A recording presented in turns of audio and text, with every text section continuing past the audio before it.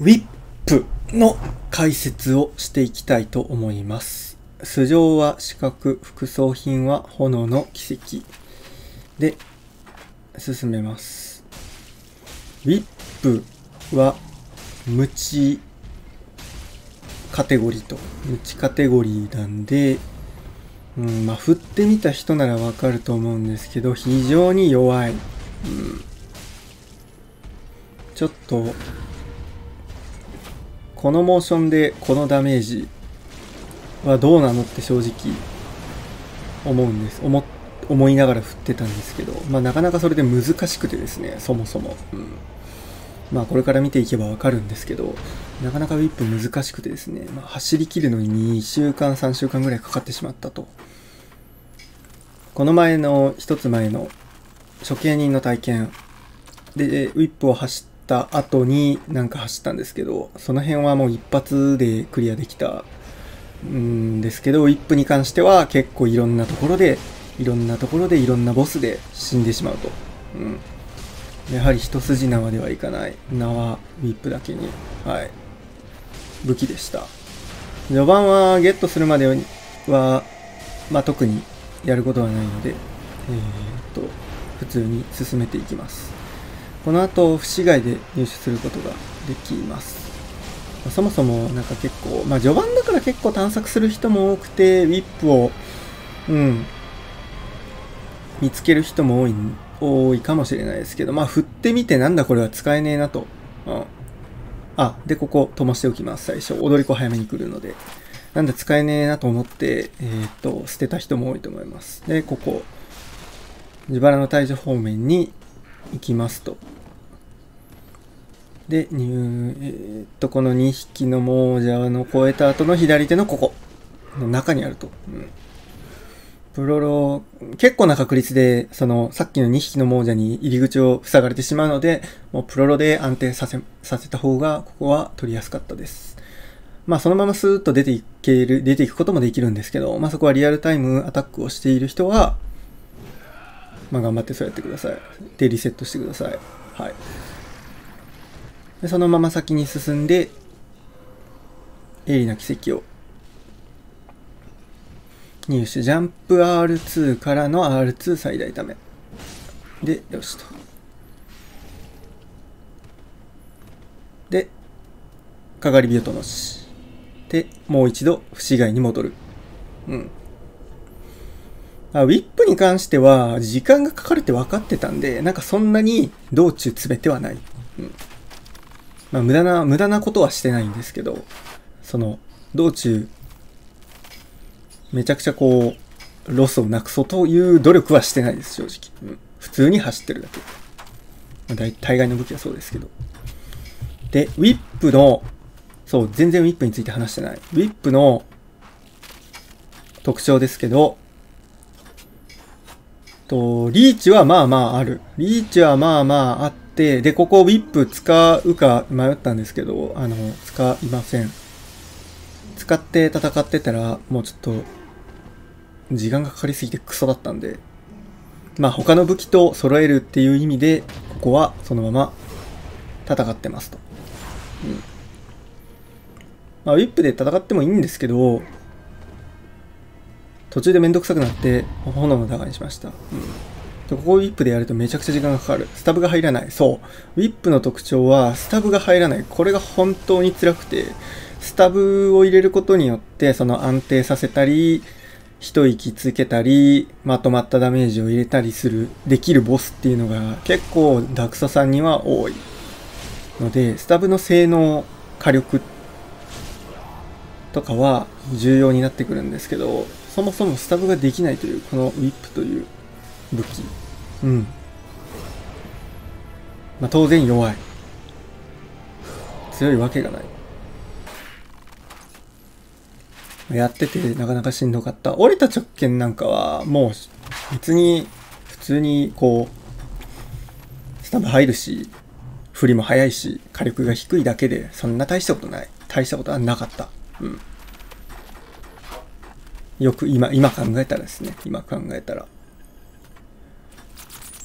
一歩を振ると、ちょっと、こう、なんか見方が変わる。うん、ので、ぜひみんなやってください。で、ここでプラゴに強化して、えー、自腹の体重。この自腹の体重、もうすでにここ、この自腹の体重の時点でかなりの壁。プラス5まで強化したのにもかかわらず、壁になってくる。なぜかというと、まずこいつが一撃で倒せない。で、当たらない。この弾に。もう自腹の体重に向かって攻撃をすると当たらないんですよ。もうカコーンって。攻撃の判定が、なかなかその、先の方にあって、もう中にこう、あの、手元になくて、もう中の方にこう入り込んじゃって、それで当たらないことが非常に多い。ので、戦技をしっかり使っていく。戦技を使うと、かなり手前に判定が、手前と上側に判定が出てくれるんで、こんな感じで壊しやすい。で、必ずその、なんか横向いてやるとか、あの、茨の大将この周りを周りにこう、沿って攻撃する。自腹の大蛇に向かってこう、中に攻撃しては絶対にいけない。そうするとダメージ、あの、当たらないです。で、深淵の感謝。深淵の感謝も R1 の R2 からの R1。そう、R1 の振りが遅すぎて、もう普通にこいつを倒し、この邪魔な敵対する感謝を倒してしまわないと、しんどいんですけど、なんか立ち回りが本当に普通の、普通になってくる。はい。まあ、火力はこの時点で R13 発か。3発ぐらいで倒せるんで、そんなめちゃくちゃ低い火力ではない。まあ、相手鎧着てるんで当然無知あんまり効かないっていうのは別として、そう、斬撃属性なんですよね、これ。うん。斬撃属性なので、こっちに来てる赤目は。で、もうあとは赤目に倒してもらうと。あ、危ない危ない、死ぬ死ぬ。そう、斬撃属性なんですよね。なんか無知の独特な無知属性みたいなのないんかって思ったけど R2 の最大ためはまあまあこの時点で火力は出ますうん普通になんですけどモーションが遅すぎるのと83うん R183 か。うん R2 の最大ためを入れればなんとか200ダメージぐらいは出てくれる。はい。こんな感じ。なんですけど、ちょっと厳しい、なかなか。ローリング R1 も、まあまあ、うん、火力はすごい低いんですよ。R1 の3分の2ぐらいしか火力が出ないんですけど、モーションが速いので、結構ローリング R1 を使わざるを得ない。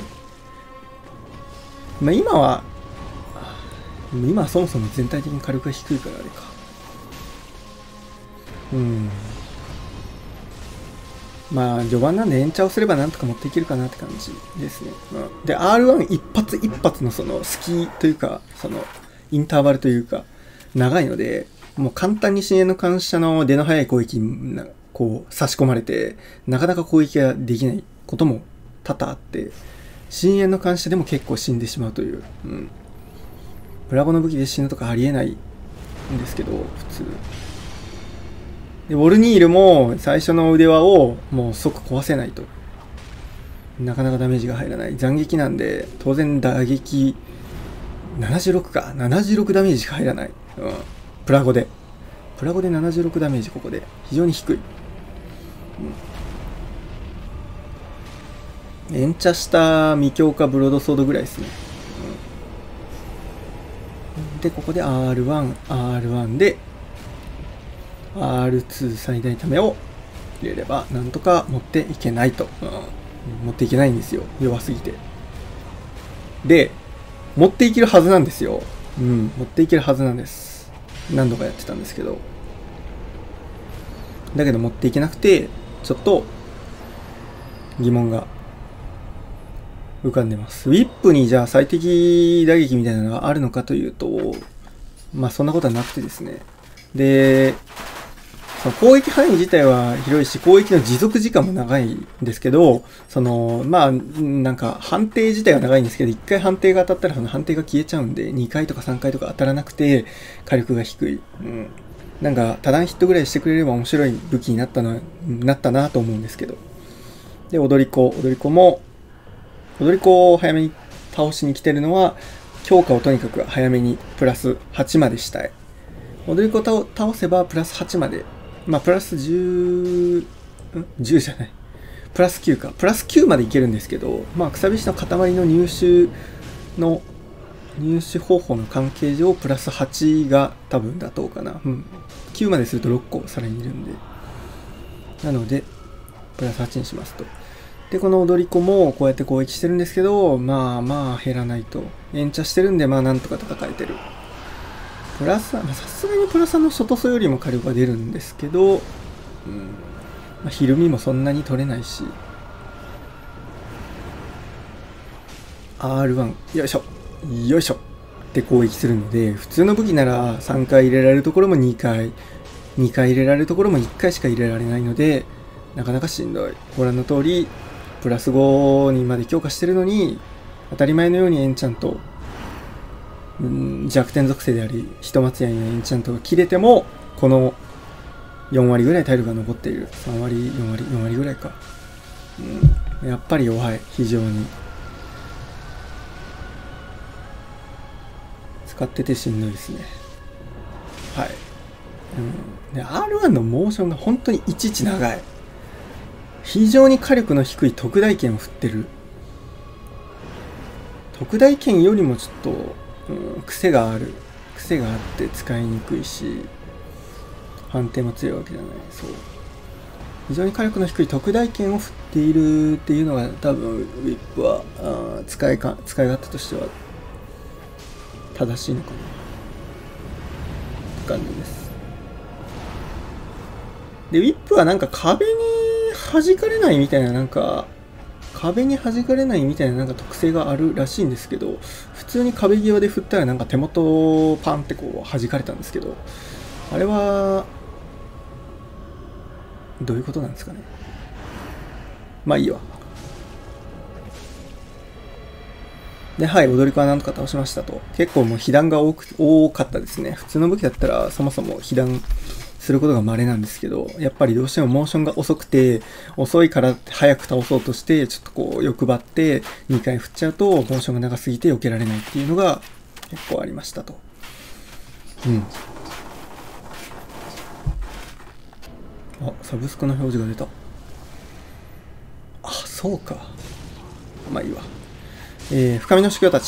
深みの主教たちは、まあそんなに苦手じゃないです、実は。うん。この R2、片手 R2 の攻撃範囲がすっごい広くて、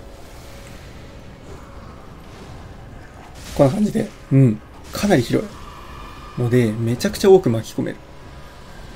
強靭がない武器なんですけど、まあまあ、その、戦っていけると。で、斬撃属性なので、デブにもちゃんと通る。打撃じゃなくて。なので、ここに関しては、そんなに、うん、で、R22 発でノッポも倒せたりと、そんなにしんどくはない。出てくるところも R2、片手 R2 を連打すれば、周りのデブ一掃できる。はい。うん。結構いい。だから、まあ、深みの司教唯一、唯一と言っていいぐらいなんですけど、唯一深みの司教たち戦では見ての通り結構早い。それなりに。うん。まあ、遅い武器と比べて早いっていうぐらいなんですけど。唯一その利点が出せるかなと思います。で、ヨームは普通に倒して、次サリバーン。まあ、サリバーンがこれまたスタブができないから苦行なんですよね。サリバーンに関しては、あの、いつも炎のダが使ってると思うんですけど、うん。使わずに倒しました。めんどくさかったですけど。で、サリバーン戦は、毒をまず塗りますと。毒をムチに塗って、スタミナ回復を早くして、で、ひたすらパリーです。ひたすらパリー。パリーして、R1。パリーして、R1。パリーして、R1。まあ2種類のモーションしかやってこないんで、まあパリ自体は全然簡単なんで、そんなにし、あの、なんかすごいことやってるわけじゃないんですけど、うん、まあただめん、ひたすらにめんどくさいと。うん。スタブ、スタブ一発で済むところをパリ5回しないと1000ダメージ出ない。まあ、あんまりダメージが出すぎると、また早めに毒になっちゃうんでほどほどのところで毒にしたいっていうのはあるんですけど、うん、はい。毒になった頃にちょうどこう何桁になります。ですぐには変身しないと。でここで分身を早めに倒したい。戦技とかもやるけど倒せないと、うん、はい。危ない。ここから普通にガチバトルになってしまう。もうダメだウィップは本当に。一応毒は浴びさせてるんで適当に逃げ回っていけば倒せるっちゃ倒せるんですけど、まあ、攻撃はしに行かないとダメなので早く倒すためにしょうがない。ダメージ自体が低いかと言われるとまあ一発100、まあ、200近くは出るからまあそんなにめちゃくちゃ低いわけじゃないのでなんですけど。分身を倒した。はい。まあ、あと単純に自分第2形態ってあんまり戦ったことないんでどんなモーション来るか知らないんですよねでここ そうパリーをしても何もできないパリーをした後に R1 をこう入れようとしてもその結局相手の出なモーションが速いんで結構普通にやられたりとかするのでパリーをしても何もできないこの絶望というか、はい、毒で死ぬと。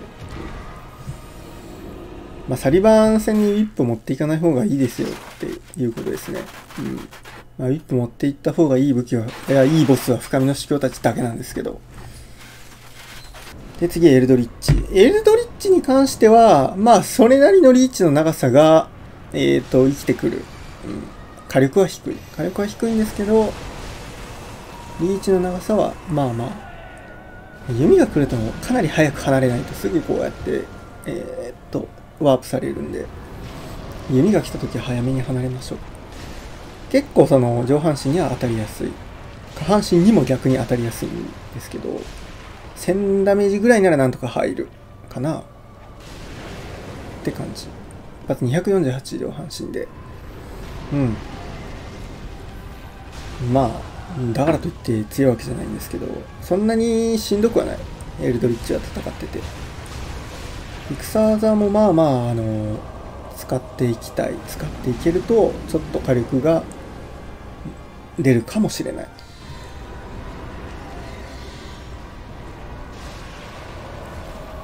演者してないと全然火力出ない。187。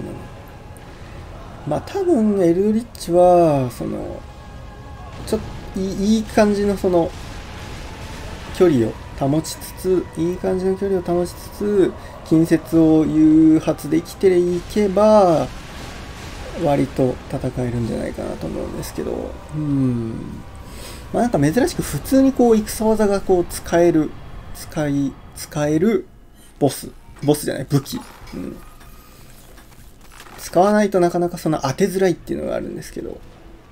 で、オスロエス。当然オスロエスは攻撃力低いんでしんどいです。うん。まあ、R1 一発のスタミナ消費とかはまあ少ないんですけど、まあ、単にこの辺とかも、この辺とかも特にひるみが取れないし、今のとか尻尾に、尻尾とかにはやっぱその判定はそれなりにあるんで当たりやすいんですけど、ただ R1 を普通に振った時結構地面をこう擦るみたいな感じで縦方向にやっぱ判定がなくてですね、どうしてもその戦技を使わざるを得ないたい。戦技を使わざるを得なかったりして、そんなに R1 判定強くないんですよね。なので、うん。まあなんか槍、槍みたいな、槍みたいな感じのその攻撃の低さというか。まあ、あっちよりはさすがにこう横に振ってく多少横に振ってくれるんで強いんですけど、判定が。うん。なんでこんな感じの、こんな感じでこう下に尻尾が行った時は攻撃しやすい。うん、第一形態が終わる頃に、いや、あの、黄金祭りがもうすでに切れるという。他の武器だったらもう倒す直前ぐらいに切れるぐらいなんで、まあ、しゃあねえかって感じなんですけど、ちょっとひどすぎる。もう、なんていうんですかね、ノーモーションとして割といつもケアしてるんですけど、もう無視して、その、ガンガン攻撃、来ないことを祈って攻撃してる。出ないと、ちょっと、なかなかその、タイムに影響、タイムに響いちゃうんで、ひたすら R1、R1 をこう触れるように、立ち回ってます。ヒルインも取れんし、火力も低いし、まあ判定がそれなりにやっぱあるので、このスカスカのスロースに対しては、あのー、まあ、ストレスはそこまでたまらないです。振ればちゃんと当たってくれるのでダメージが入る。火力がいくら低くて、モーションが遅くても。うん、そこはまあまあまあって感じ。はい。でしかもこのオスロエスなかなかその突進も来ない個体なので結構嬉しい。あまあ運外は。うん、来なかった突進が結局。はい。OK。まあまあ良かったですね。そんなに走り回られることもなく倒せる、倒すことができて、オスロエスはまあ、早くはないですけど。で、英雄軍団。ここも当然パリーができないので、パリーだ、あ、じゃあパリーはできるけど、地名が取れないので、パリーだけして、うん、終わり。おすすめは、パリーからの R2 最大ため R1。これで640ダメージ。これを重ねていくと。場合によってはローリング R1。結構出が早いので入れていきたい。出ないと、もう火力が全然出ない。R1、R2 の R2 の最大ためとかめちゃくちゃその攻撃範囲が広いので、R1 は3回入れようとしたけど、ちょっとやっぱ間に合わないと判断してやめました。なので R2 に切り替える。かなり攻撃範囲が広いので、えっ、ー、と、まあ、とにかくパリさえすれば当たる。あパリすべきですね、今の。R2、R1。うん今のは一応パリできる攻撃なんですけど、ちょっとシビア、タイミングがシビアです。うん、で、パリ、はい、パリからの R2、R1 の決定、はい、はい。これはパリできないです。で、ここでパリして、R2、で、スタミナが足りないと。うんそもそもスタミナ振ってないんでしょうがないんですけど、そんなにまあ、スタミナ消費多いは多い方じゃないんですけど、まあ、軍打戦になると、軍打戦はどうしてもその、軍打戦はどうしてもその、普通にローリングで避けていこうとするとスタミナが足りなくなる。回避分のスタミナに回しちゃうんで、手数出そうとしちゃうと、しんどい。ですね。で、次、竜狩りの鎧。竜狩りの鎧は、R1 一発150。えー、っと、なんだっけ、初突が170ぐらいだったかな。斬撃属性っていうのもあって、本当に竜狩りの夜には火力も出ないし、火力も出ないし、モーションも遅くて手数も出せないし、縦構えられるとどうしようもない。そう。この武器、なんか、こう、なんか、うまいこと縦をこう、縦構えててもダメージがめちゃくちゃ通るみたいな。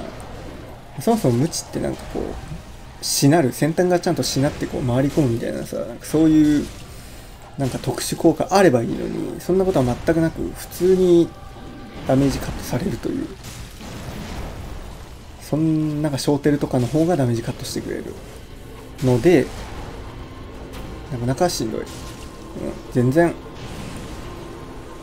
縦持ちのボスと戦っても、まあそもそも相手は鎧、全身鎧着てるんだから、無知なんかダメージ通るわけがない。じゃあまあ、それを言ったらおしまいなんですけど、ただまあ相手の行動はそれなりに出れてるんで、こんな感じで。うん、相手の行動はそれなりに出れてるんで、ダメージを入れることができていると。うん、出れてる。非常に出れてる。で、ここでまた、うん、素晴らしい。こういう竜狩りの鎧が毎回来てくれればいいですね。うん。ああ、まあよかった。結局ノーダメか。ノーダメで倒したかな。一回エスト使ったかな。多分ノーダメじゃないかな。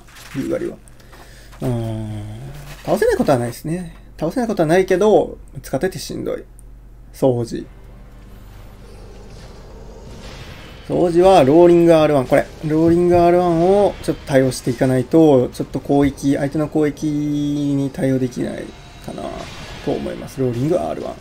普通の R1 だとどうしても、ダメージはまあまあいいんですけど、普通の R1 だとなかなかその隙ができないので、まあ本当に特大剣を振ってる感じ特大剣はなかなかやっぱローリング R1 主体になって立ち回ると思うんですけど、まあそんな感じですね。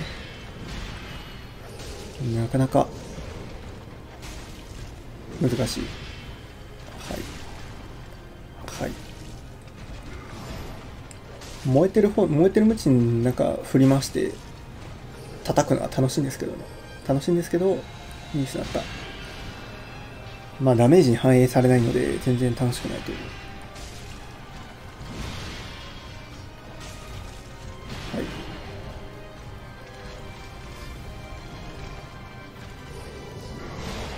大体の武器でそのワープする瞬間ワープする瞬間に R1 を入れるとその攻撃を入れ攻撃ダメージが入ってからワープするんですけどこの武器だと攻撃モーションからの攻撃判定の発生が遅すぎて全然そんなことはできなできないのでもうワープされたら普通にこう逃げるだけと。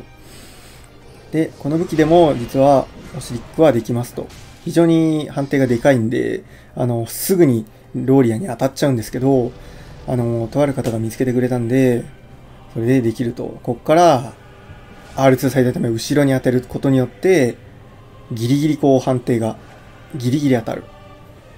ただめちゃくちゃ難しい。うん。で、戻るときに、上に当たるか戻るときに当たるかなんですけど、なかなか難しい、これは。はい、はい、はい、もうダメ。うん、なかなかこれだけで倒しきるには、もうちょっとこう、ゆっくりゆっくり、足、足場を、足元をこう、調整しないとダメなんで、大体いつもこうガチバトルになります。ただ別にガチバトルになってもそんなに、えっ、ー、と、強いボスではないので、まあたまに事故はあるんですけど、そんなに問題ないです。最初にオシリックで2回ぐらいダメージ、2回3回ぐらいダメージを与えられたのも結構でかくて、それで、なんとか、えー、1回目のローリアン、1回目のローリアン討伐でロスリックも持っていけるかなって感じですね。ロスリックの方がどうしても HP が高いので。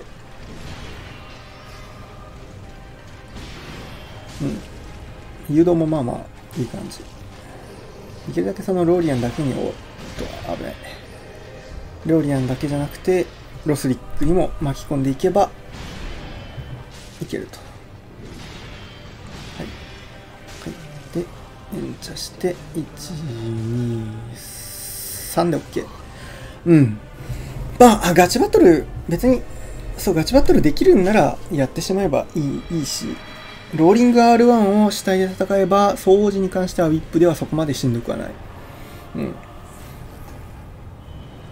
できないとしんどい。できないと無理。で、西の飛竜なんですけど、落下攻撃できないんで、もう普通にラガで倒してます。うん。こんな西の飛竜にクソみたいに時間かけてもしんどなんか意味がない意味がないというか疲れるだけなんで普通にラガーで地名入れて書とかして倒してます。で次がでそうでここでプラス10に強化したんですけどここから非常に有能なリスナーの指摘があって営利発生してないんじゃないかと指摘があって、で、今ここ確認してます。はい、VIP プラス10してなかったと。なんか火力が低いなと。あの、ボルニールの頃あたりから、なんか火力が低いなって実は思ってたんですよ。本当はボルニールの右手、あの、一番最後3、3つ目に壊す右手は、R12 回と R2 最大ため1回で今までのし、あの、走りでは壊せてたはずなのになんで壊れなかったんだろうってちょっと不思議に思ってたんですよ。うん。サリバーン戦でも、ちょっとなんか火力が低いなっていうのは正直感じてました。ボボロクソに殴られながら。そう。で、ここで、ウィップ強化してないんじゃないというそのコメントの指摘があった通り、ウィップを強化せずに、営利派生せずに、単なるプラス10でいってたので、火力が非常に低い状態で戦っていたと。なので、王たちの化身を倒してから、営利派生にしようと思います。反省です。で、大立ちの決心での立ち回りなんですけど、まあ、ローリング R1 ですね。ローリング R1 主体で、もう、槍とか来たら正直攻撃するタイミングがほぼないです。この、これぐらいの、これぐらいしかない。ここでローリング R1 しても、ほら、やられる。うん。まあ、今のはどの武器でもやられるか。とにかくローリング R1。ローリング R1。普通の R1、この、こういうタイミングでしか入らない。まあ、戦技はなんか、その R1、ちょっと強い R1 みたいな感じで使いやすくはあるんですよね。隙もそんなに多くないんで、戦技って。戦技結構隙が多い、構えてからの、なんか、隙の大きい攻撃みたいな武器も結構多いんですけど、ウィップは構える必要もなくて、そのままで、その場でこうパンパンパーンとこう攻撃してくれるので、まあまあまあ、使いやすい。ちょっと火力出したいな、R2 欲しいなって時に、天気使いたい。ローリング R1。ローリング R1。うん。そう。ここで R1 を入れると蹴られる。蹴りにローリングが間に合わない。この辺がやっぱり厳しいなっていう。はい。で、そう、あのー、なんだっけ、雷の杭か。雷の杭を、これ、雷の杭をやってくると、普通、あのー、その時にダッシュ攻撃をすると、攻撃され、攻撃にカウンターとして下から切り上げをやってくるんですよ、普通。大たちの化身って。まあ、100%ではないんですけど。なんですけど、これ。あ、これこれこれ。これをやってくるのが普通なんですけど、ウィップって攻撃の判定というか、こう、が遅すぎて、あの、結構早めにしないとなかなかその攻撃されたとこを、王たちの化身が認識してくれなくてですね、なんかこう、下からの切り上げがやってこないという現象がありました。はい。まあ、別に、全くやってこないわけじゃないんですけど、ウィップの、えー、っと、モーションがやっぱ遅すぎる攻撃の出が、非常に辛かったです。で、デーモンのロー。デーモンのローも、もう R1 での DPS が本当に低いので、普通に戦う、普通に立ち回るみたいな感じ。ここまあもうプラス10、まあ一応エイリには強化したんですけど、エイリのプラス10に強化したのになんか普通の立ち回りを要求されるという。危ない。痛い。まあでもさすがに毒にするほどではなかったですね。うん。20発に、毒にするには20発ぐらい攻撃入れないとダメなんですけど、その頃にはさすがにもうほぼ死んでるので、毒にするまでもないそそれはまだら無知の時にやりますうんただ普通にその R1 をこうやって、うん、スタミナ消費はやっぱ少ないのでいいんですけど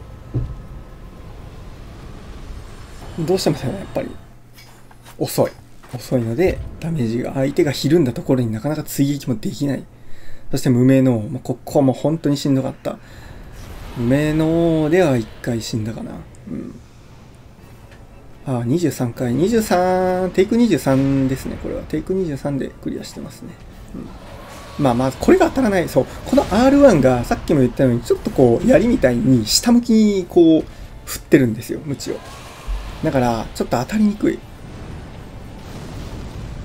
これが、まず、最初に、無名ので、辛かったところ。うん振りも遅い結構あのー、わずかな隙にわずかにちょっとこう頭を下ろしたところに攻撃とか入れていきたいんですけどそれも、ままならないと。この片手 R2 をこのタイミングでこう入れる。これは非常に入れやすくていいんですけどそのリーチが長いんで炎を食らうリスクがない。ローリング R1 この辺は入れたい、うん、あ一応なんとかやっていけばと。で、スタブができないので、炎のダガー、無強化炎のダガーを頼る。うん。無強化ダガー結構軽く出るんですね。普通に、この R1、プラス10にした、プラス10技量40にしたエイリビップの R1 よりも、スタブ、無強化炎のダガースタブの方が火力が出るという。うん。はい。あと一発。はいと。うん。ローリング R1 はやっぱりそれなりに当てやすい。いい性能をしてる。火力はクソ低いけど。このウィップのモーションの中ではですね。はい。ローリングは R1 入れます。で、ここで R1 は絶対に入らないけど入れちゃいました。はい。絶対に入らない。まあ、入らないからといって、相手の行動のデレをこう、待ってると、うん、なかなか時間もかかるからな。こういうところももう普通の直剣なんかだったら今のも絶対に回避間に合うんですけどそれと同じ感覚でいくと本当に間に合わないことが多い。無知をわざわざ戻してこう手元にぐるぐる巻きにして収納するというなんか無駄なそのモーションが必要なんで。あほら。一回一回こうよいしょって、こう、ま、巻き取ってるんですよね。まあ、確かに現実でやったらものすごい高い技量ですけど毎回毎回同じようにこう手元に収納してるのは、うん、そんなのはゲームの中では知らねえよって話で。ひと松屋に一つ使い切ったのにまだ第2桁にすらなってないと。うん弱い。まあ自分もちょっと被弾が多かったんで反省点ではあるんですけど、はい、ちょっと厳しい。ウィップで無名の、なかなか、ああ、なんとか間に合ってか。やっぱローリング R1。うん、ローリング R1 を入れていきたい。で、この辺でも別にその、なんか大抵の武器はこの辺で一応そう、こんな感じで取れるんですけど、もう普通にスタブを入れると。えー、236、500、500、236だから違う。450ぐらい。460か。すごい。じゃあ472。炎のダガーで無、強化炎のダガーでスタブを入れると472もダメージが出る。すごい。ウィップは一発219しか出ない。ウィップで R12 回殴るよりも火力が出る。無強化で。うん。やっぱスタブ、スタブの重要さが見えてくる。第2形態自分あんまりその立ち回ったことなくて、第1形態終わったら大体もうほぼ死んでるんで適当に2、3発攻撃して終わりなんですけど、第2形態まともに立ち回ったことがなくて、あの、結構苦労してる。うん。しなんか結構素人みたいな立ち回りになってるんですけど、もうちょっとやっぱ練習すべきだなとは思います。はい。はい。R1 が2発、3発入る。2発か。でも1発。はい、OK。なんとか倒せましたと。まあ、見てわかる通り結構辛いです。無名のをウィップで戦うのは。折れた直剣の方がはるかに楽ですね。もうとにかく R1 の振りが遅い遅い。で、ここ。ここ本当に辛い。まずこの狼が倒せない。範囲が広いはずなんですけど、強靭もないし、結構避けられると。うん、よいしょ。ってこうやってると、あいつが来る。で、なんか無駄にこう、そう。で、3発当てないと倒せない。そう。大抵の武器は2発で倒せるんですよ。2発で倒せるのに、3発当てないと倒せない。それがまずこの、ダメなところ。に避けられる。運も悪い。はい、オッケー。なんとか倒した。で、じゃあ、いざ、この、ガン立て野郎と戦いますよっていう時に、盾、盾持ちに対してその無知がなんかこう、優位が取れるかというとそんなことはなくて、こっちが R1、R1、まあ、リーチはあるんで R1 が入るっちゃ入るんですけど、縦構えられて、縦、ちゃうな。そう。こうやって止めることはできるんですよね、なんとか。うまいこと。で、縦構えられて、そう、縦からの相手の R1 が確定で入っちゃうんで、うん。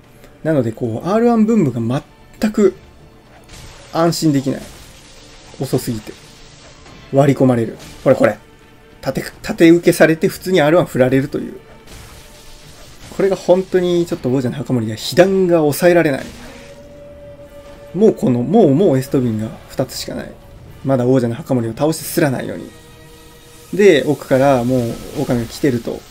さあどうしよう。で、戦技はどうだと使ったんですけど、結局220ダメージしか入らない。ああ、R1 2発入れた方が早いと。ああ、狼来た。で、ここで普通に、普通にもう、あとは2対1で立ち回らない、立ち回らないとダメ。2対1での立ち回り立ち回りは、狼の攻撃を避けて、ローリング R1 を王者の墓守に当てていく感じがいいです。ああ、なんかでっかい獣に打ってるとなんか、ちゃんと調教師みたいな感じになって、ああ、オッケーオッケー。今の、今の、あんな感じでローリングをかかることができるのであれば、すごくウィップは、えー、可能性のある武器なき、あ、武器じゃない。あの、まあ、武器か。武器だわ、これ。可能性のある武器なんですけど、まあ、あんまりそんなことはないっていう。さすがに時間かかるんで、毒、毒にしちゃいましょうと。エストが切れた。はい。6にすれば手数が1つ2つ変わってくるだろうと思って。まあでもさすがにそこまで、いや、そんなことはないな。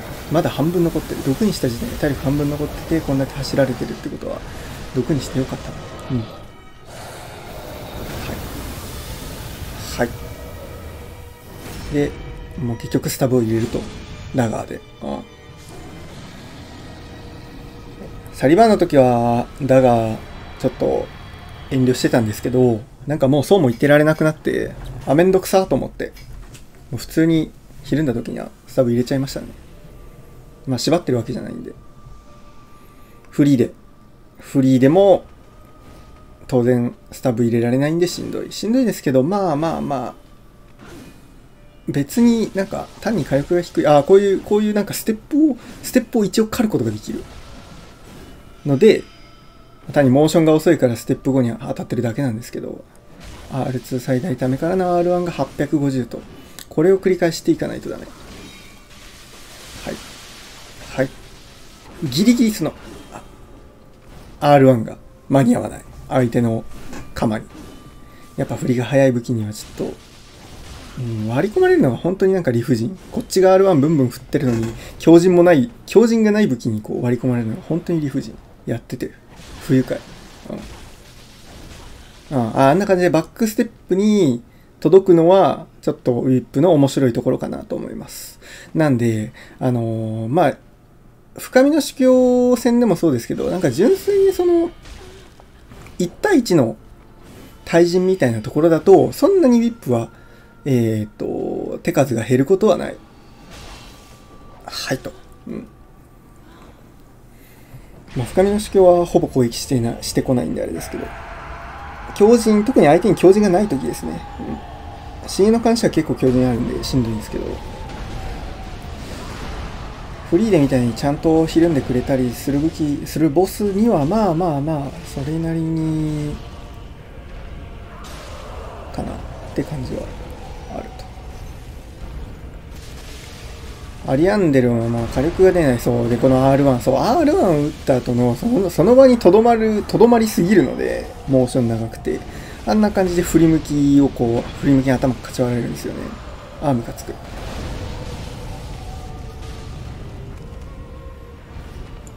全然やっぱり、うん、弱い。その場にとどまるっていうのがやっぱり一番ダメなことで、歩きでかわせる攻撃って非常に多くあるので、この、ああ、まあまあまあ、よかったかな。この時点でゲールが生き残ってないと、ものすごい時間がかかるので、ゲールが生き残った状態で、第2アリアンデルを突破したのはかなりでかいです。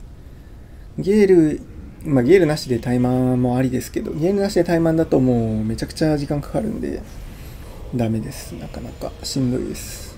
それはやりたい人がやってください。まあ、倒せないことはないですよ。時間をかければ。うん、ただ時間がかかるのでやらないってだけです。はい。はい。ゲールと一緒に、ゲールと一緒に、ゲールの後ろからなんかこうちょっかいを出す感じで攻撃していけるといい感じ。どこ行ったかわからん。あ、いたいた。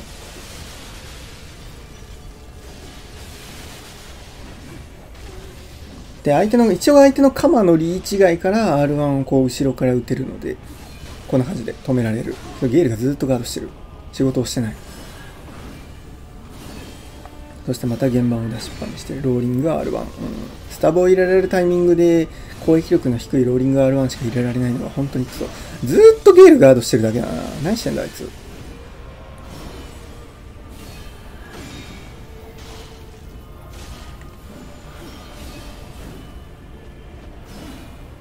全然ゲールが攻撃してくれない。またガードしてる。あ、攻撃した。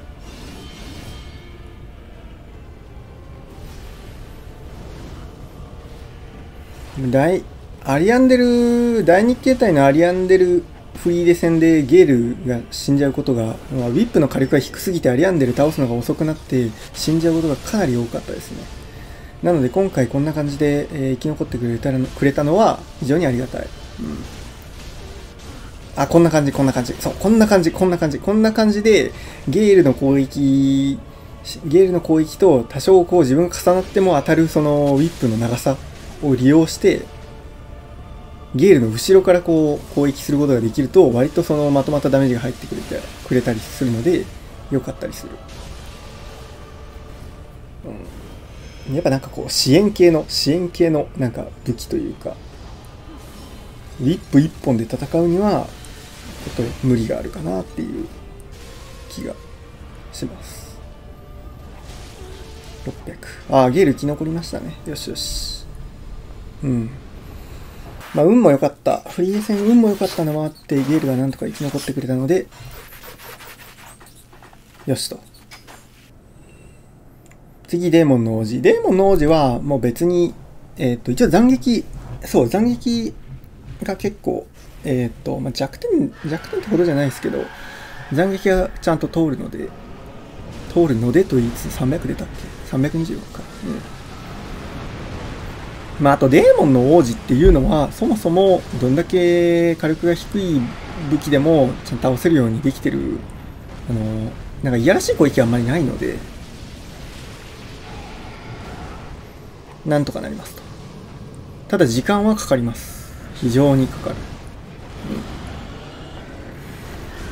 速い武器だと右下の緑のタイマー2つあると思うんですけど緑のタイマー2つの間になんか3分ってあるんですけどあれ区間タイムを表しててあそこが6分5分5分台か速い武器だと5分台でクリアできる受け人の大統とかそうじゃなかったかな5分台でクリアできるんですけどうんまあ、6分台なら、まあ、武器としてはよしと。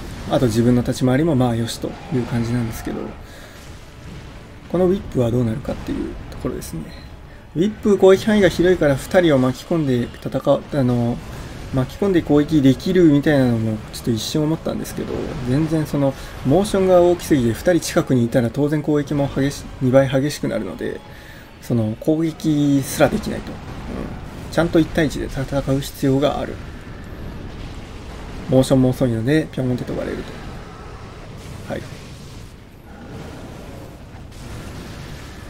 まあ一応足元にいれば全然攻撃が足らないので、デーモンの王子に関してはちょっと優しい、割と優しめなボスではある、縛りの中では。うん。まあ、火力もやっぱ R1 一発がめちゃくちゃ低いわけではない。うん。なので、こんな感じで、うん、やっぱ2人揃うと、2人揃うとどうしても、それを受けられない攻撃が出てくる。気持ちいいんですけどね、2人に当たった時もうどっちが傷ついたか売るどこか正直わからなくなった、当然傷ついたを先に倒したいので、赤い方、赤い方を倒していくと。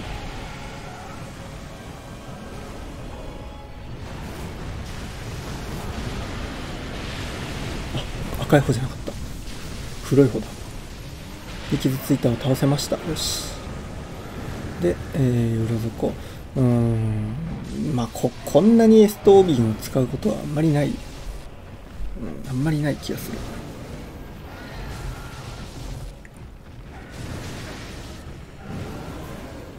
いや、そうでもないか。いや、でも、割と慎重に立ち回ってるから、あれか。慎重に立ち回ってるから、エスト、逆にエスト3本で済んでんのか、これは。リップでも。うん。はいと。結構時間かかった。うん。もう5分40秒ぐらいかかってて、武器によっては、もうデモの王子をほぼ倒してるか、倒し、もう8割ぐらい削ってるとか、それのレベルなんですけど、やっと、やっとこさ2人を倒せましたと。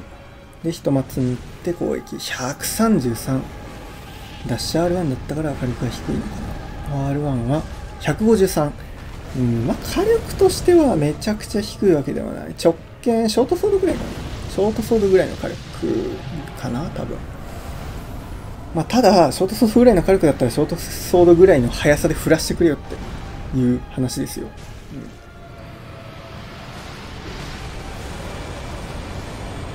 本当にスタミナを消費するのが遅い。さっさと消費したいのに。で、ここを、ここを、2回レーザー来ることが多いんですけど、なんか1回しか来なかったのは、なんかあんまり自分見たことなくて、自分の立ち位置が、立ち位置によるのかどうか知らないですけど、1回しかやらないことって、あるあった？なんかこの時初めて見た気がする。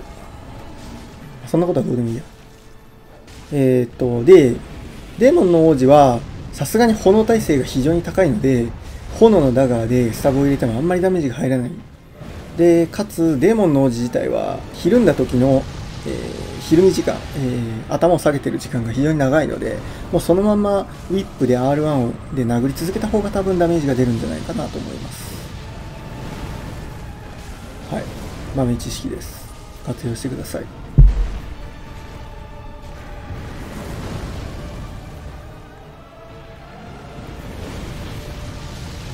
ボーリング R1、115。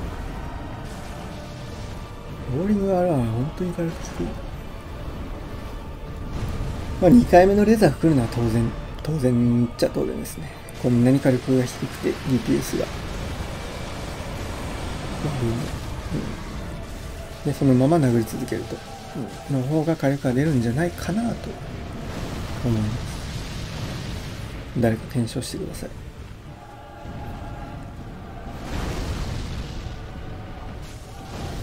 そうダッシュ R1 もダッシュ R1 って大体の武器は結構隙が少なく攻撃できるんですけどダッシュ R1 もよいしょって上から降ってくるのでなんかもうやっぱ遅い。な敵のわずかな隙間にねじ込みにくいような気がします。はいおしまいあそれでも8分20秒か。8分半か。うーん3分ぐらいやっぱ普通の武器より遅いのか。2分半か。2分半ぐらい遅い。まあまあまあ、まあ、ビップならこんなもんか。めちゃくちゃ遅いわけじゃないな。うん、よし。ロケミディール。ロケミディールは、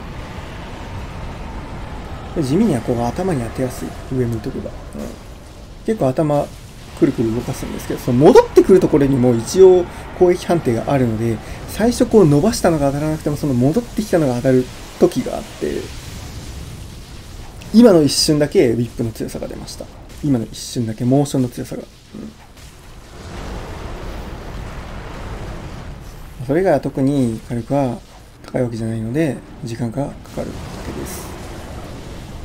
ダメージも低いです。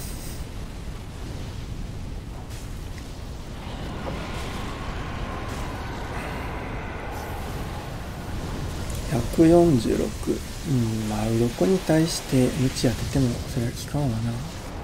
で、当然、暴れを、暴れ前に落とすことはできないので、セーフティーに動きます。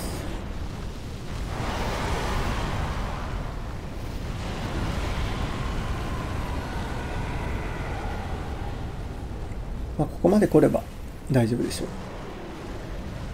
はい。3、4、5。OK。あ、落とすときは、これまた時間かかるので。ダガーで落とします。で、ミディール線。ナッシュ R1、230。R1、R1 が入らない。R1 入らない。うん。両手にすると、なんか結構攻撃範囲が狭まる気がします。なんか当てにくいなっていう感じがする。片手でも一緒か。278か。278って月光ぐらいの火力だっけ？あでも月光の体験より火力出てるじゃん右線250か月光が。へえじゃあ月光の体験より強いです。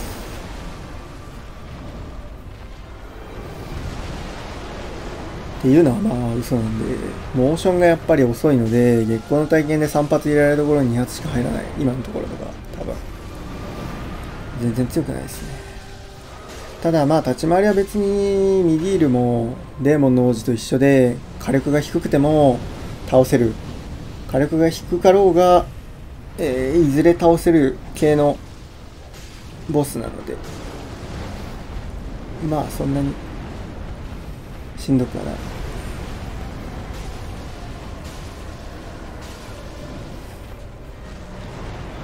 火力が高くないと死亡確率が結構上がるタイプのボスっていうのがまあちょくちょくいるんですけどこのミディールに関してはそういうことはない。長時間向き合っててもまあなんかまあ立ち回りやすいなっていう。話です。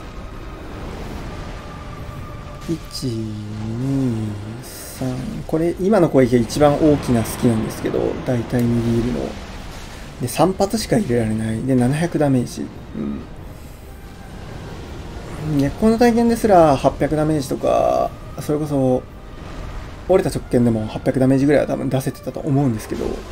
頑張っても R13 発ぐらいしか入らないんですよね。4発目が入らないそこが厳しい。非常に厳しい。大抵2発で500ダメージ出るか出ないかぐらい。うん。ウィップにまあミディールにウィップ持っていくのもまあ正解とは言えないかな、まあ、正解なボスは今のところ深みの主教しかいないんですけど。800ダメージやっと出た。で第2形態やっとはい。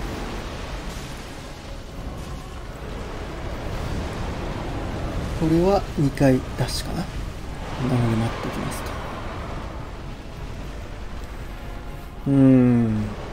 戦闘時間が長すぎてあんまりどんどん喋ることがなくなっていく。あそういえばなんか下のはぐれデーモンをモチーフにしたマスコット的なキャラクターなんですけど位置を間違えました。戻しておきます。今更ですけど。画面の邪魔にならないように端っこに置いてたんですけどなんかのなんかいじった時に。動かしてそのままです。はい。はい。はい。うん。そう。でもう一つダメなところがあってその顎の下あたりからあの普通に頭を狙おうとすると結構その攻撃の自腹の体重があの弾に弾に攻撃したつもりがその奥の木に当たってダメージが全く入らないっていうことがある現象がこのミディールの首あたりにもこう当たっちゃってダメージがこう伸びない、うん、頭に当たったことにならないことがあって結構ちゃんと離れてから離れてミディールの頭をちゃんと狙わないとダメージが入らないことが多い、うん、その辺もちょっとしんどい。謎パリはい。もうスタブを入れます。もう炎のダガーでスタブを入れます。これ2600ダメージ稼げます。嬉しいです。はい。うん。であともう一発かな。もう一発。もう一発。もう二発。はい、はい、うん。はいおしまいと。長かった。普通の武器より多分1分それこそ10分で倒せるんかな確かこれはここまでの。道中合わせて。だから1分2分うん。長いな。2分ぐらいに長いのかな。でハーフライト戦。アルゴは当然倒すことができないので無視してカイガモリを倒します。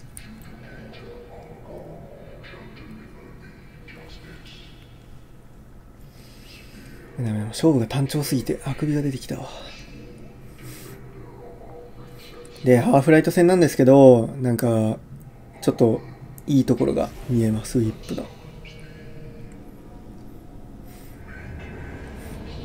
まあフリーデ戦とかでもステップに合わせることもできたしっていうのもあるんですけど。カイガモリは R1 連打でうん戦うと。R1、R1、R1、R1 と。うん。まあ、強靭がなければいけるんですよ。強靭がなければ。で、ハーフライト。で、これがちゃんと、あの、長いので、リーチがあるので、ハーフライトにちゃんとこう、当たる。で、あとパリをされない。パリをされないので、こんな感じで相手が片手、片手持ちになっても強気に振っていける。で、ここも、うん、そう、リーチがあるので、ちゃんと R1 が当たると。対人的な話になると、案外ウィップは使える。はい。ローリングも枯れると。攻撃の持続の長さから。まあ、火力は低い。はい、R1。さすがに、ここは、貝ガモリを倒すと。スタブも入れられないのがきつい。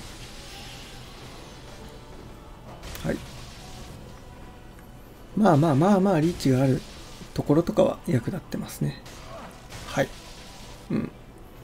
だから、折れた直剣みたいに本当にリーチがない武器よりも立ち回りは安い。立ち回り安くはある。うん。今のローリングとかも簡単に勝手に、まあ、自動で勝ってくれる。だから折れた直近より正直立ち回りやすい。ここも、はい、届きますと。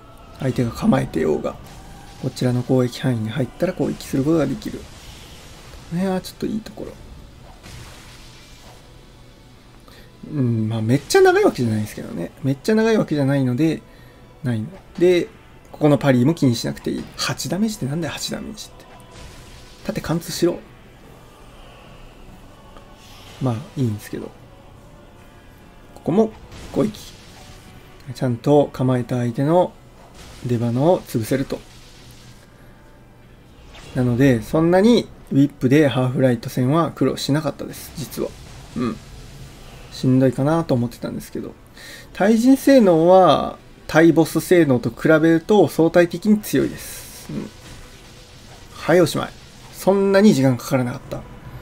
もっとグダグダに、ぐったぐだになると思ったんですけど、案外そうでもなかった。で、ゲール戦。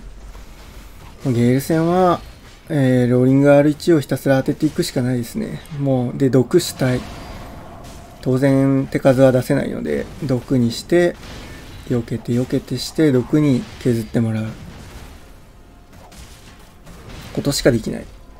R1 一発の火力は当然低いので、腐れ松屋にが大活躍します。はい。はい。はいと。うん。まあ、本当にもし、うん、ローリング R1 したい。ローリング R1 したいで、たまに隙を見つけたら R1。今のとか。あ、毒が入りましたね。よしよし。で、黄金松ヤニに塗り替えて、まあ、ゲル戦ではあんまり松ヤニを特にその安易に塗らない方が、まあ、こんな感じで結構狩られるので、松ヤニじゃないですけどね、今のは。アイテムを使うと結構狩られる動きが多いので、はい。はい。1、2、3、4、ここですね。この、ここですれ違った時に何かしら松ヤニだの、エースと回復だのはかなり安定します。それまではもう、あの、ダメージ食らったりしても、なんか無理に回復せずに、こういうところとかもダメ。無理に回復せずに、避け、避けて、攻撃、避けて攻撃に専念した方がいいかもしれない。うん。大きな隙ってやっぱりあんまりないので、第1形態、第2形態の方が、うん、結構、なんか戦いにくくなってきたな、最近。第3はなんか、開き直ってる感じがあってやること決まってくるんですけどウィップの話をしてないなイエールに対してウィップは非常に弱いです。うん。おしまい。で、えっと、さすがにそれで終わるわけにはいかないので、第2形態、第2形態、まあ当然その、やっぱ戦闘時間が弱くて弱くて長くなるので、長期戦を集中して長期戦を確保しないとダメなので、もうあのかなりセーフティー、今のとかも、今の R1 とかも入れない方がいいぐらいですね。うん、ローリング R1 なら一応入らないことはないんですけど、その、ローリングの角度ですね。あのこの、ローリングの角度によって結構その、マントに当たることがよよくあるので、だからその、その前に攻撃をしちゃうと、あの、歩いてゲールの、なんていうんですかね、その歩いて位置を調整して、うん、うまくその、1回のローリングで両方マントも剣もかわすことができなくなっちゃうので、ので、ちょっと、うん、ちょっと、ちゃんと、そう、このね、このエストを飲んだら瞬間に速攻で連射クロスボウを構えてくるこの。これはなんか素晴らしい素晴らしい AI してるわほんと。でもう一回毒を入れたい。もう一回毒を入れたい毒が入りましたよし OK 毒が入ったので塗り替えたいんですけど、塗るタイミングがない。まあ、やばその、この第2形態ですね。第2形態でボウガンを撃ってくるとき、第2形態でボウガンを撃ってくるときは極力、あの、エストも黄金末裔に、エストも末裔にもう使わない方がいいです。もう何も塗ってない状態で、あの、攻撃し続けて、で、切り抜けて、第3形態で何か使った方がいいと思います。第2形態は本当に事故が多い。割と、まあ、ゲール戦、ウィップ、ゲール戦では死んでないかな。死んでないか。もっと先に、もっと早く死ぬことが多かった。で、これ、これ、見えてない。この見えてない感じがね、本当に嫌。うん。ロイドも、ロイドも切れるし。このそう、ローリング、ローリングの後に R11 回ぐらいしか入れられない。R11 回のダメージなんか100いくつだから、本当に毒を入れないとやってられないですね、これは。入れるのが前提当たり前。ロ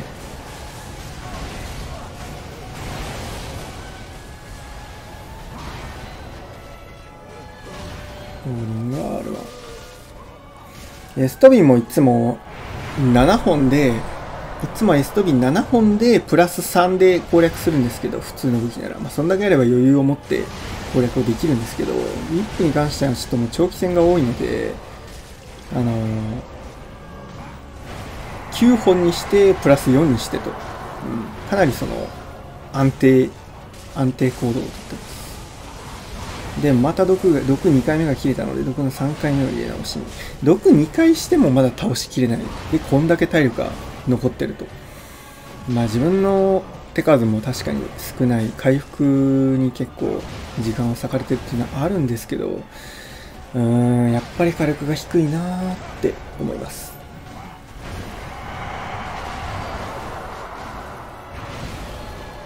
はい。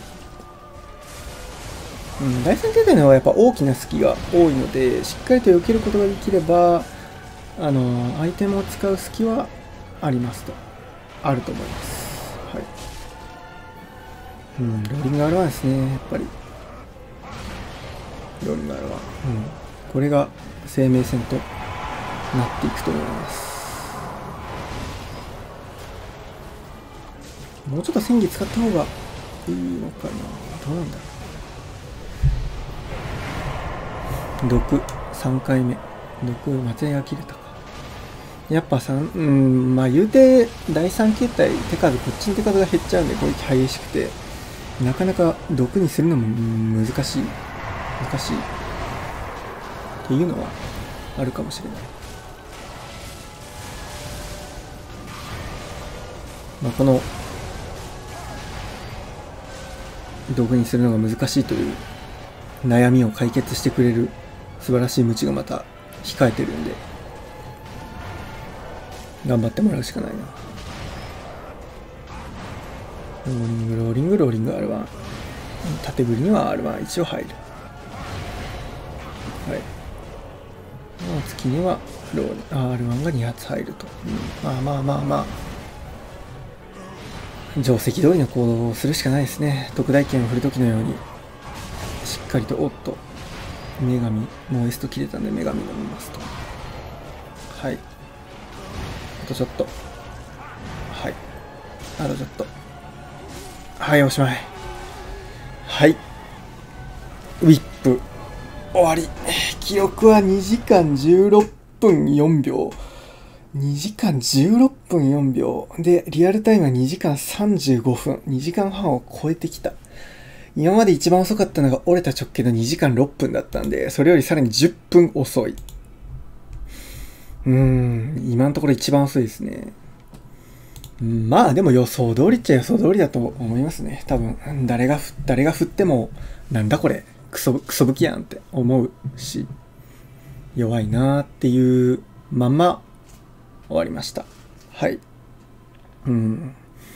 で、本当にこれ、走り切るのに、最初にも言ったんですけど、結構時間がかかって、なかなか途中で事故も多くて、うん、死にまくって、ちょっとやる気失せてたんですけど、まあ、なんとか走り切ることが、ノーデスで走り切ることができたので、これで、で、動画時間も1時間になっちゃったんで、前編、中編、後編に多分分かれてると思います。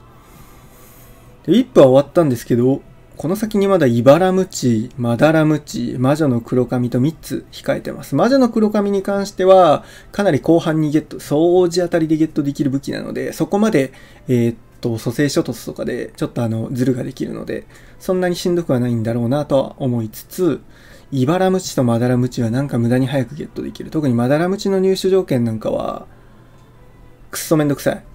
なんか、白召喚して、そう生き残らせたままデーモンのローを、蘇生書とそプラ3とかで突破して、で、そこからやっとマダラムチ、一回不死骸に戻ってマダラムチがゲットできると。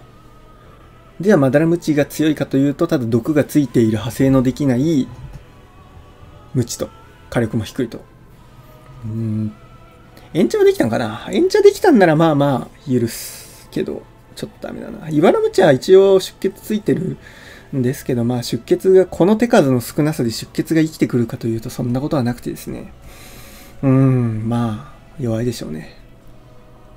ちょっと一旦他の武器に離れます。ウィップしんどかったんで。イバラムチ、マダラムチ走るときに、はい、また頑張ります。じゃ今回はここまでです。ご視聴ありがとうございました。